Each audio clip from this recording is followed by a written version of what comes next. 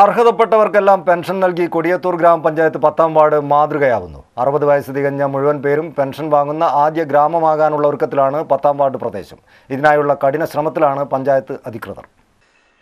അറുപത് വയസ്സ് തികഞ്ഞ മുഴുവൻ പേരും പെൻഷൻ വാങ്ങുന്ന ആദ്യ ഗ്രാമമാകാനുള്ള ഒരുക്കത്തിലാണ് കൊടിയത്തൂർ ഗ്രാമപഞ്ചായത്തിലെ പത്താം വാർഡ്. അറുപത്തഞ്ച് വയസ്സ് തികഞ്ഞ മുഴുവൻ പേർക്കും വാർദ്ധക്യകാല പെൻഷനും അറുപത് വയസ്സ് തികഞ്ഞവർക്ക് കർഷക തൊഴിലാളി പെൻഷനും ഉറപ്പാക്കാനുള്ള ശ്രമത്തിലാണ് പഞ്ചായത്ത് അധികൃതർ.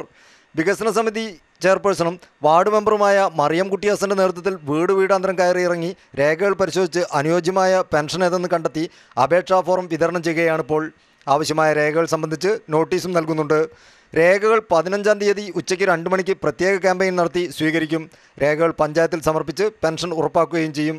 പദ്ധതി ബി പി എൽ ലിസ്റ്റിൽ ഉൾപ്പെട്ടവർക്ക് മാത്രമാണ് ഈ പെൻഷൻ നേരത്തെ അനുവദിച്ചിരുന്നത്.